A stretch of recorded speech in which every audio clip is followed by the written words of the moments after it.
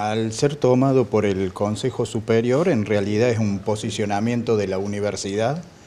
respecto a la problemática de la educación pública en general y por supuesto también de la, de la universidad, eh, en la medida de hacerlo conocer este, a través del Consejo Interuniversitario Nacional al resto de las universidades, ¿no? es decir, eh, un,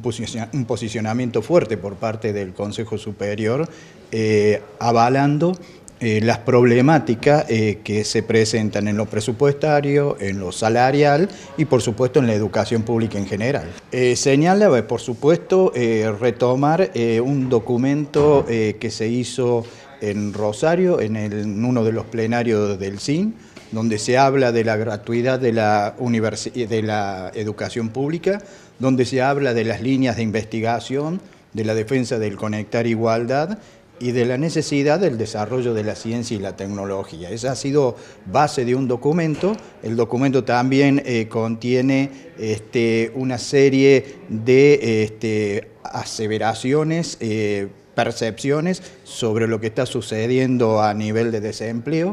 y por supuesto marca una connotación interesante porque en realidad nosotros creemos que la universidad es una parte de la sociedad y en esa parte de la sociedad eh, nos preocupa lo que ocurre fuera también.